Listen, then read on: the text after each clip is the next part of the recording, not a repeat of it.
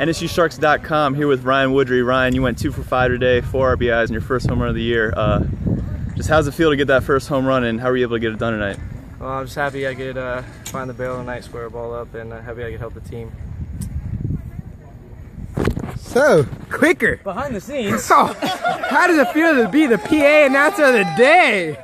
Yeah. yeah.